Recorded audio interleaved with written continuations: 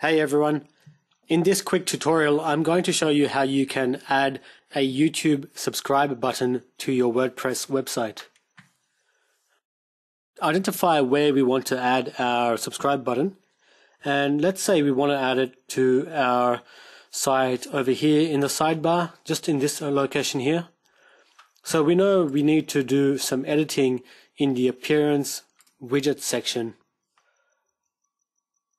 As you may already know, that's where your sidebar content lives. So we know we'll need to edit a section in here. So to get the actual code for the YouTube subscribe, just search for YouTube subscribe button in Google and it should be the first link that comes up. Okay.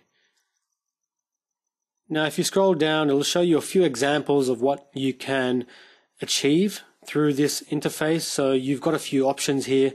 First thing you need to do is enter your YouTube username.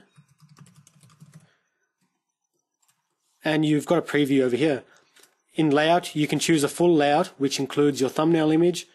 Um, you can choose a dark or a light layout and you can choose to hide or show your subscribe count. Okay, so that's all you need to do. When you're ready, get this piece of code here and copy.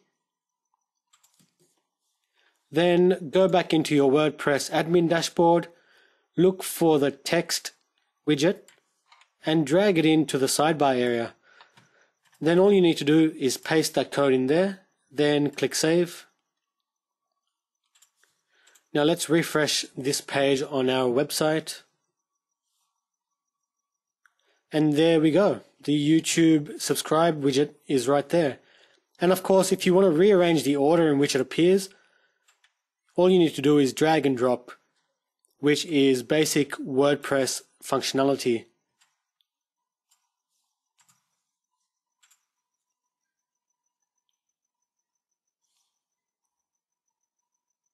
There you go. It's as easy as that to add a YouTube subscribe widget to your WordPress website. If you have any questions, please do let me know. Otherwise, please thumbs up this video and subscribe to our channel for more awesome videos in the future. Catch you next time.